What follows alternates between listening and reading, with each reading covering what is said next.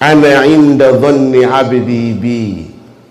Allah is talking in Hadith al-Qudsi. Ana inda dhanni abdi bi.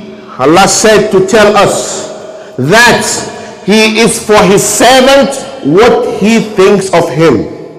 I repeat, Allah said to tell us, the messenger of Allah to tell us that he is for his servant what he that his servant thinks of him so Allah is for you whatever you think of Allah. So always think positive of Allah. Do you think he can do it? If you think he can do it then he will do it for you. Why? Because dhanni abdi bi. If you have the iman that's oh brother I heard you. But I have been making dua for a long time still not answered please continue don't stop and I'll tell you why it's not answered yet because Allah loves you huh?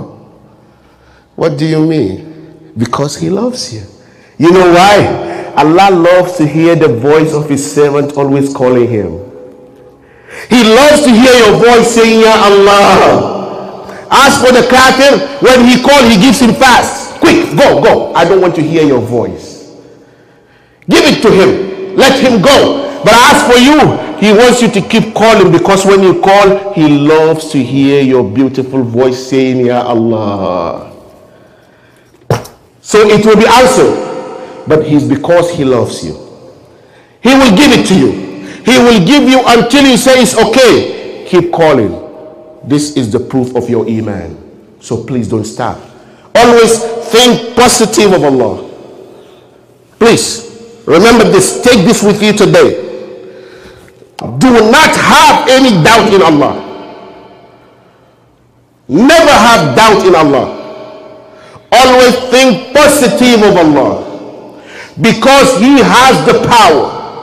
Everything belongs to Him. And He is Al Mujib. Al Mujib. The one who penetrates through every obstacle in order to listen to your prayer. So please, always think positive of your creator and never have doubts in him because if you commit shirk you are having doubt in Allah. You are thinking that he cannot do it. That's why you are committing shirk. But if you believe you know he can do it please think positive of him and you will see wonders. Ana inda dhanni abdi bi. Inshallah i will stop here this is the message of the day my dear brother and my dear sister, take this with you because if you invoke or you call any other God with Allah, brother, listen to Allah before we pray. والذين تدعون من دونه ما يملكون من قطمير those you invoke beside Allah, they don't even own they don't own a thin membrane of a date seed. You know the date that you eat to break your fast, that date, right? When you open it, you see there is white leather covering the seed. Allah said, Those you invoke beside me cannot even own that thing, they cannot create that thing. Why worshiping them?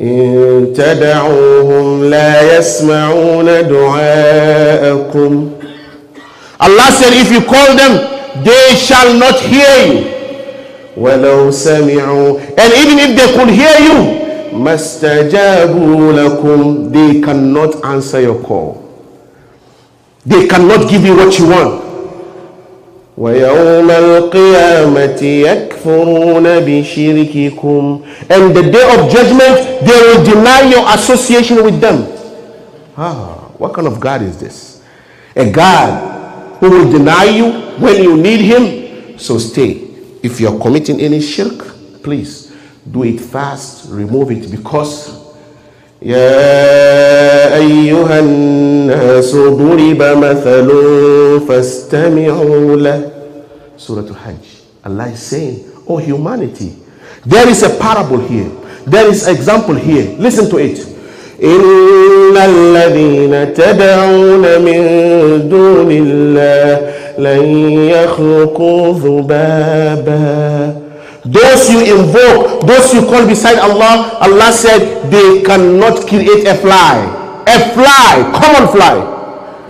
وإن يسلبهم الذباب شيئا لا يستنقذوه منه and if the fly snatches takes something from them they cannot catch the fly and take it back what kind of God is this so brother please time is going if there is anything you know between you and Allah that you know is not supposed to be there you're not supposed to do please have faith in Allah have no doubt in Allah, think positive of Allah, and stop it be before it is too late because إن الله لا يغفر أن يشرك به This is my final ayah to you. Allah, if you die while committing shirk, Allah said He will never forgive. Because you remember, I told you, committing shirk is a sign of ungratefulness.